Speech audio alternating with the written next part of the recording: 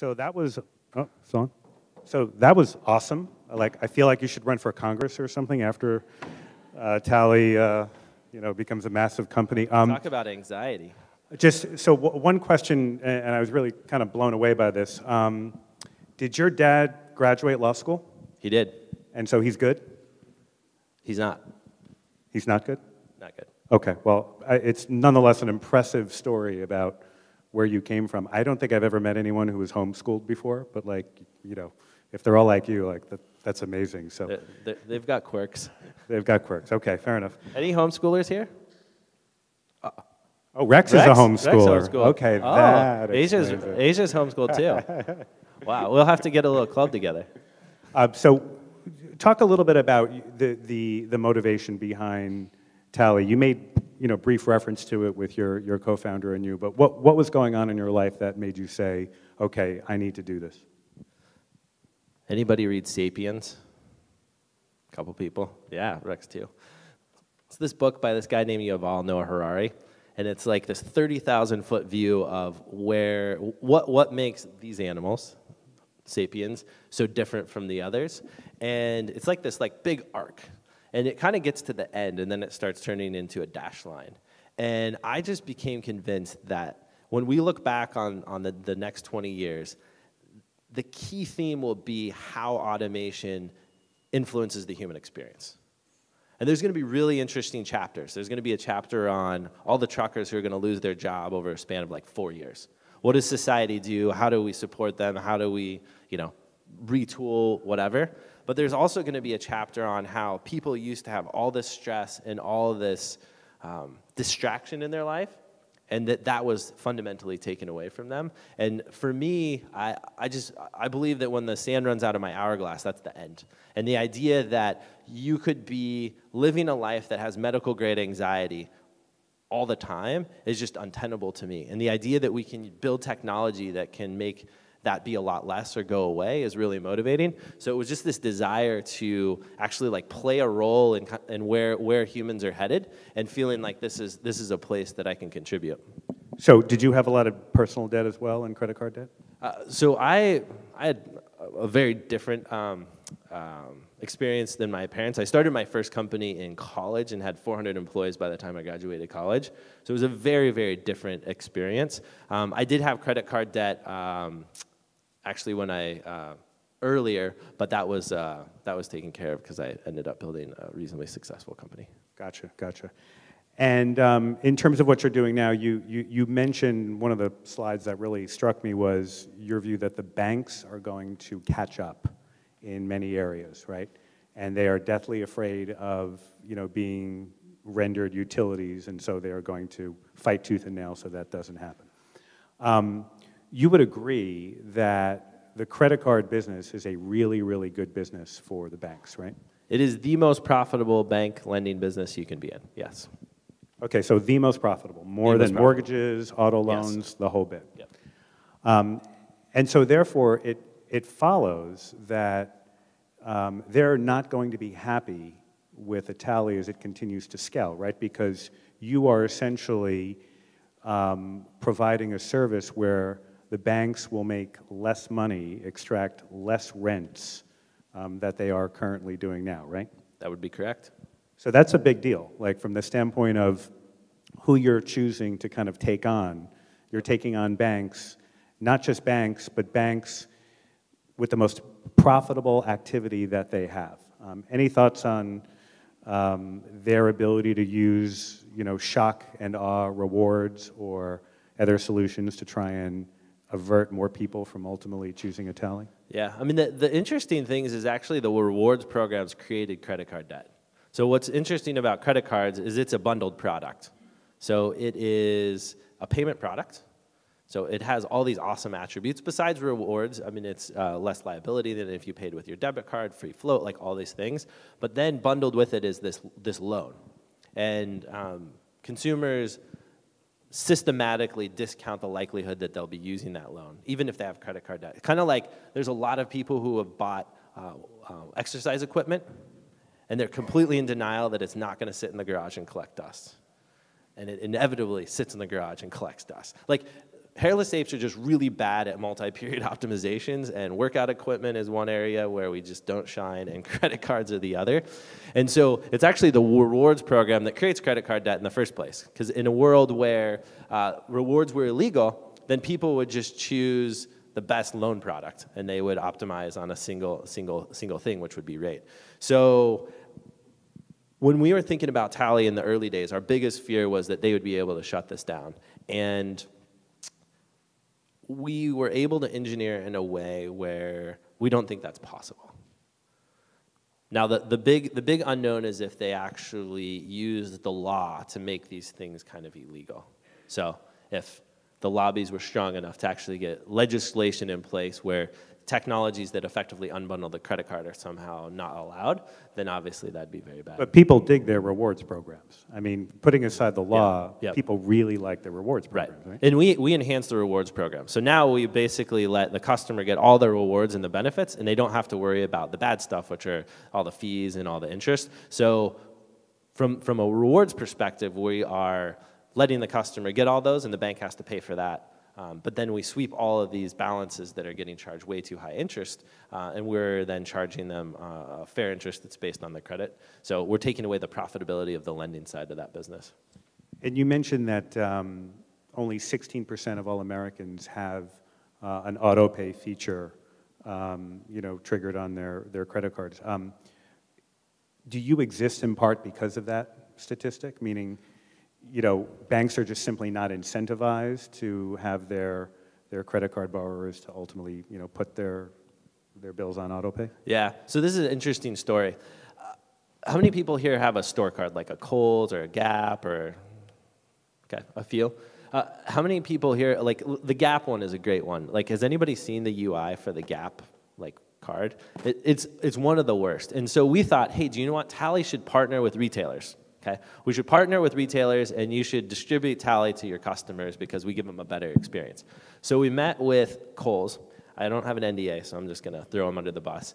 Uh, we met with Kohl's and uh, very senior. And the, the quote I love was I can see how this is great for the customers, but we really like late fees. So why would we ever partner with you? Late fees, yeah. And so, so things like the Gap card, you can't even do auto pay.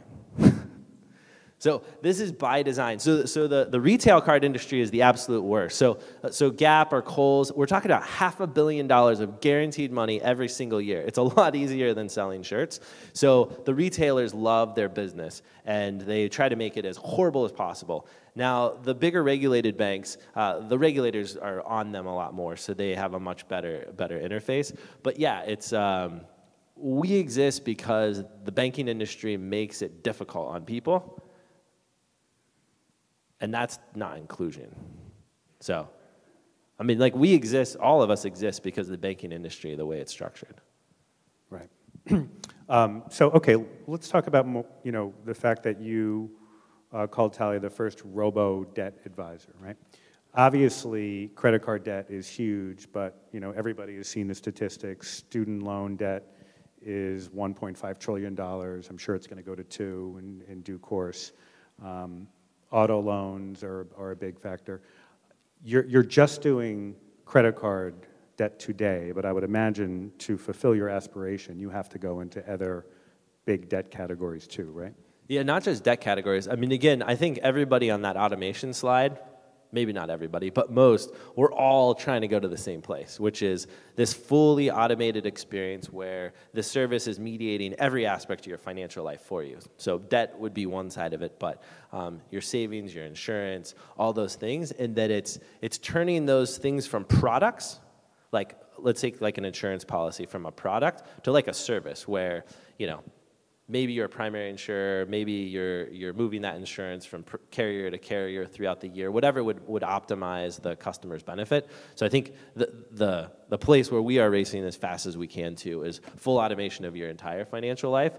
Uh, we have, I think, a higher bar than some of the folks is we just think that if you require people to do work, it just it falls apart and even like filling out pdfs or, or signing or like like you have to remove almost all friction that is humanly possible. And it means you just have this massive engineering bill because to get that last 20% is really, really expensive. And it's fine to make recommendations, that's pretty easy. But getting to full automation is difficult. So we are. Uh, I guess you could say we're slogging away at it like the hard way because we have such a high standard for what automation means. But you, you, you, in terms of your business model, though, you don't charge for the, the automation. You No. charge on the financing, right? Yep. So in theory, um, there might be other verticals that you could also be a financing partner to your customers with. Right, or, or other non-lending products. Yeah, our, our view is we should only make money when we're creating economic value for the customer. So the only time we ever charge interest is if we're A, protecting you from, from fees, or B, if we are charging you a lower interest rate than what's on your card. So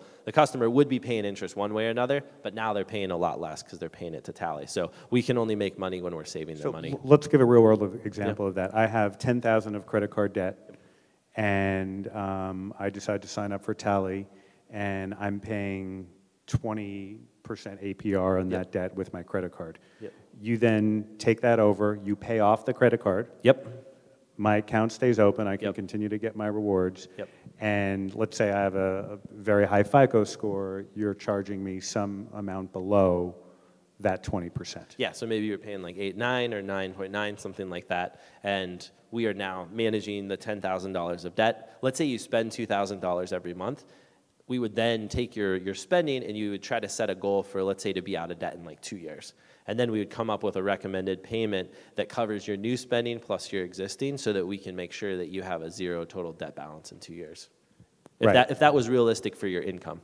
Yeah. Right, and you don't provide, today anyway, you don't provide guidance, you know, for, for the many people out there who have six, seven, eight credit cards and they're trying to optimize where they're going to get the most reward points.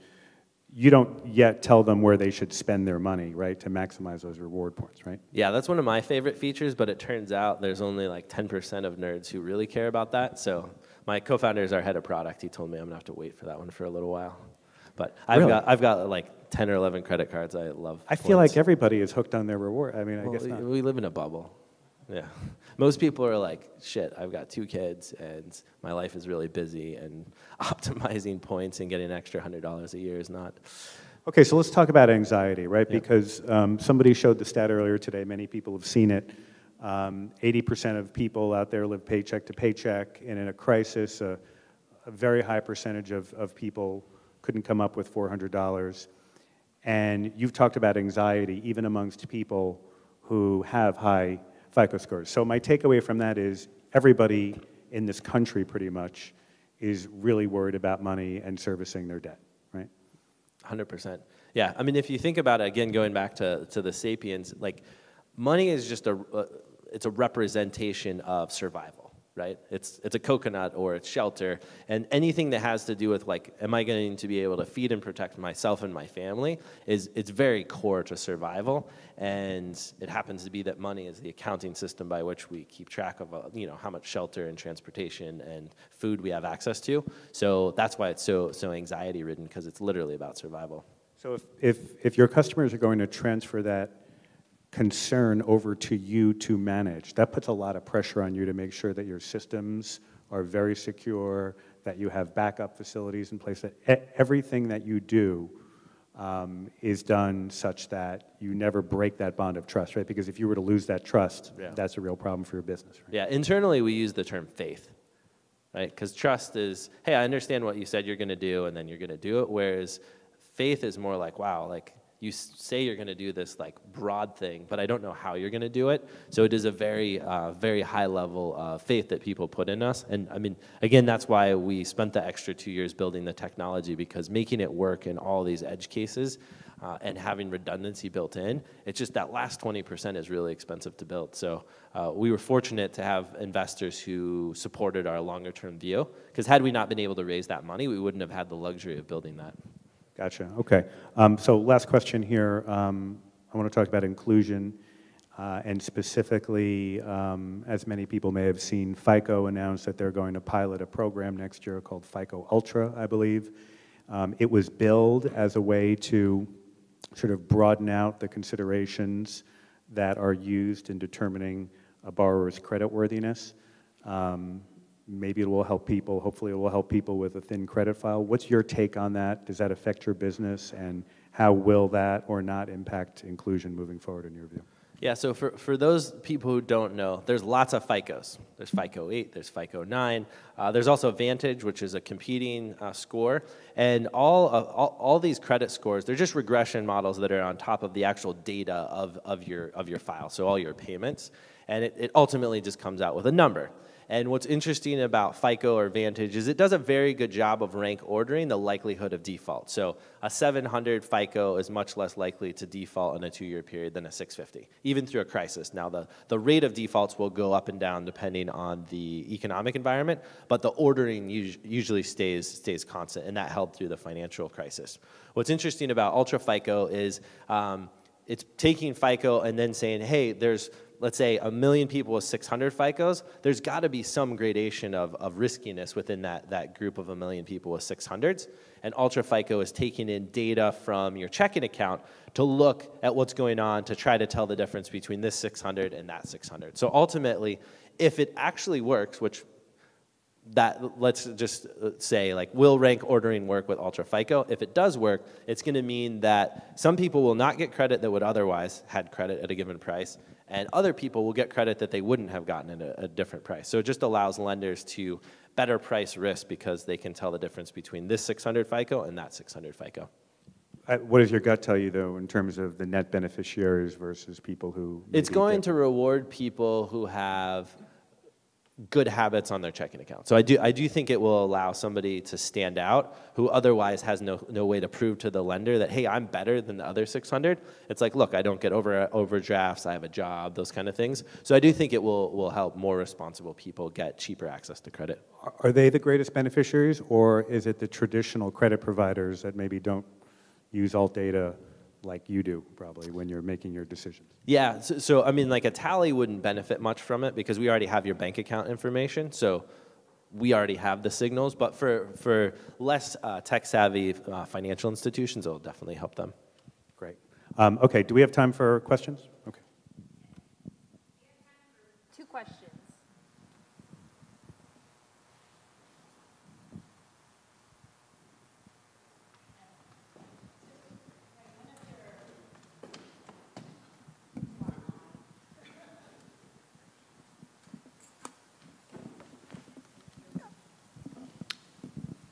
Okay, can you hear me now? Yeah. Can. So obviously, one of your value proposition is that, right, you make the loans at lower fees for the credit card and help them pay it off. Do you think the banks will catch on to that strategy and lower their what they charge on the uh, balance? That was one of the first questions we got asked at our seed round, and I forget the math now, but there's call it a trillion dollars of credit card debt that's getting charged these really high rates. Uh, we would literally be the most valuable company in the world before like the math makes sense to like cut off your nose to like spite your face. Because even though we're taking balances away every single month the, the amount of interest they're charging on all the remaining balances that are there it's better in their better interest to, to leave the rates high. And since they can't identify who's using tally and who's not which is an important component they can't specifically um, go uh, price competing against us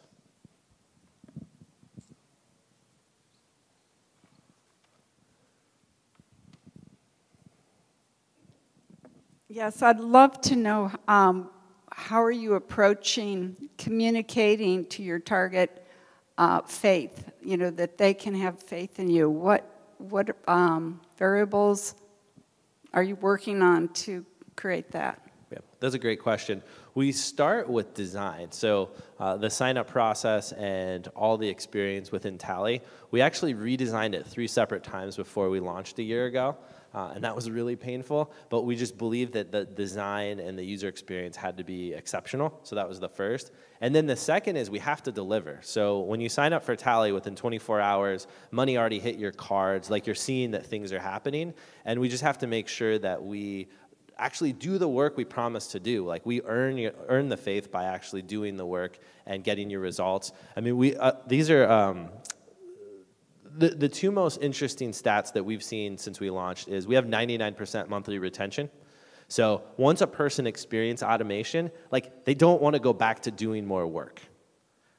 So they like automation. That's the first thing. And then secondly, we've uh, saved our customers uh, millions of dollars already since we launched uh, a year ago. And so we're like, not only like they like it, but we're actually delivering real quantifiable money. So automation, automation actually works. What's nice is when you do all the work, you can guarantee and you can quantify the financial benefit you're giving people. So showing them savings and showing them that, hey, we're actually getting you results is, uh, is working. So those are, those are the two main ways. But, but how are you, um, how are you communicating with the people that don't get to the site? Are you counting on the people that have signed up and experienced faith to start um, evangelizing it? I, I like it. We're going religious here. Uh, we do have a lot of uh, a lot of evangelism. I mean, we we have uh, because the satisfaction is so high. We have a lot of referrals, um, but we we have a full growth team. So our our team was. The beginning of the year, we were like 15. Now we're almost 60. So we have a, a full growth team. We are hiring for everything. Um, we're hiring. Uh, but, but yeah, we have a full growth team, uh, PR, everything. So it's like, I mean, it's a full course press at this point on, uh, on all, all fronts. Great. All right. Good luck. Thank you. Thank you.